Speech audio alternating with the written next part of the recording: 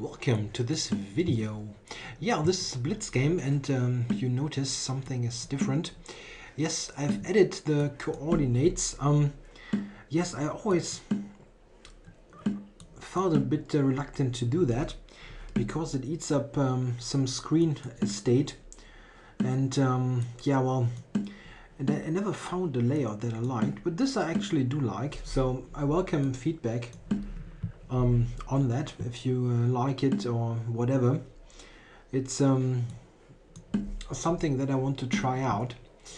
Okay um, while I was talking I have um, entered this line of the of the Tarrasch which I actually don't know don't know well. I normally play d takes c5 instead of bishop g5 but while talking I completely forgot that I think taking in b3 is how it goes but I have basically forgotten forgotten the the theory here not sure. I think queen a5, something like that is uh, right, but yeah, something like that. Why um, black normally tries to to use the to use the somewhat unstable position of the knight. I wonder if I should just drop back to d2. It's probably not the critical move okay, it um, creates a, an immediate threat. I need to close the door.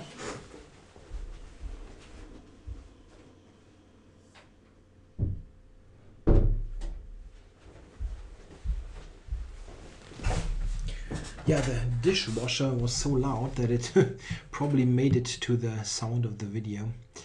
Okay, let's see. Not quite sure if black what is black doing here? Maybe yeah well bishop b4 is a possibility. But um, after a move like queen c2 I'm, I'm, I have a3 and on the on the horizon. And this is not sure that this is so great maybe he should move the queen again to b6 or something okay he went for that it's certainly the most um, the most principal move in a way Okay, I need to cover c3. Queen c2 is the most obvious way to do it. Hmm. I'm not sure though.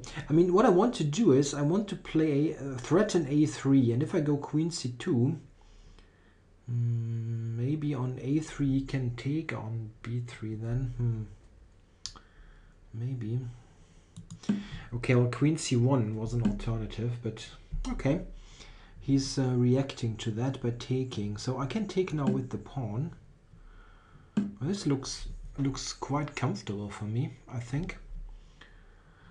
I can play knight a4. Is this um, tactically a good move or not? Yeah, we'll take on d4, of course. But I have knight a4 anyway, even if I even if I play um, a move like e3, I can play knight a4, just the next move. Knight a4, queen d4, bishop b4, queen b4, queen c6 is not bad, but also not so convincing. I get knight a4 and this looks like um, a good position. I think he must react in a way to that. He cannot allow allow me to trade the dark squared bishops, for example. I think he should probably retreat it. Wow. Well, this I didn't even consider. Giving, giving me the bishop pair on top of all the problems that he already has.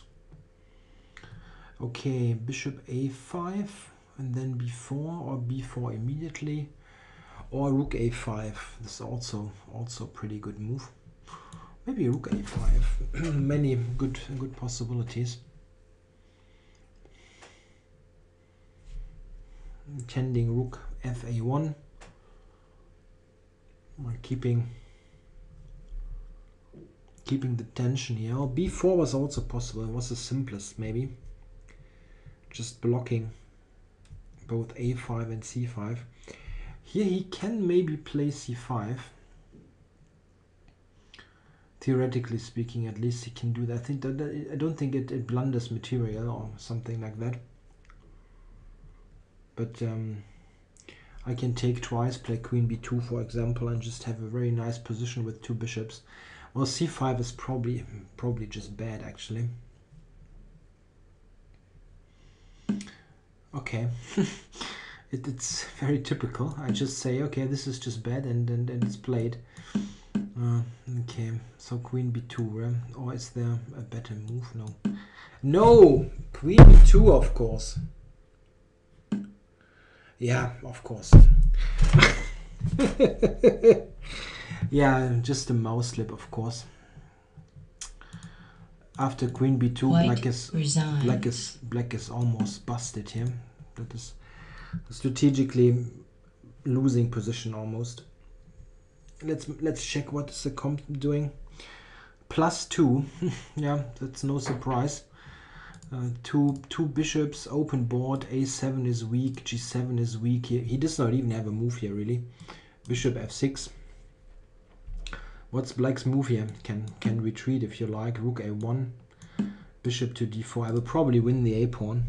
This is just a complete disaster.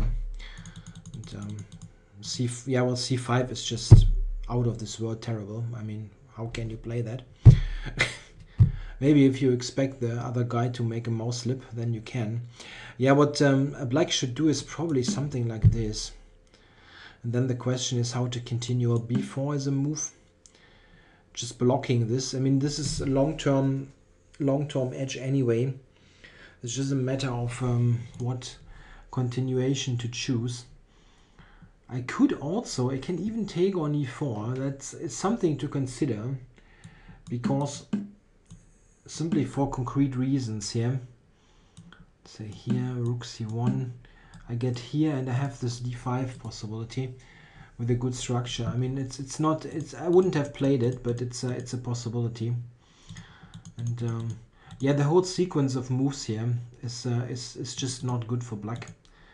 I actually even doubt bishop b4. Bishop b4 already looks wrong to me it just runs into this um, a3 idea and, and this is just bad. I mean, here there's knight e4 and now you absolutely must retreat the bishop in my book or move the queen. You cannot um, cannot um, do what this is unplayable almost.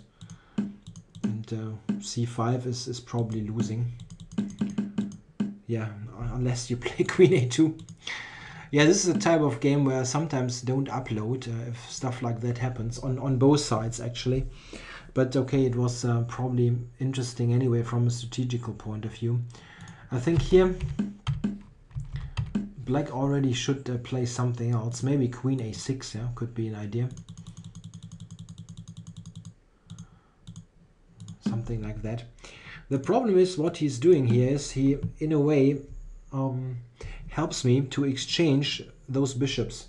And what you absolutely don't want to exchange dark squared bishops in this position as the pawns here are on light squares. Probably those two will trade at some point and then I have a very nice post on c5 and you want a dark squared bishop to uh, to fill those dark squared holes so bishop b4 is not a good move and well this is just a series of mistakes so. but okay one one very bad mouse slip can uh, turn it um, upside down okay thanks for watching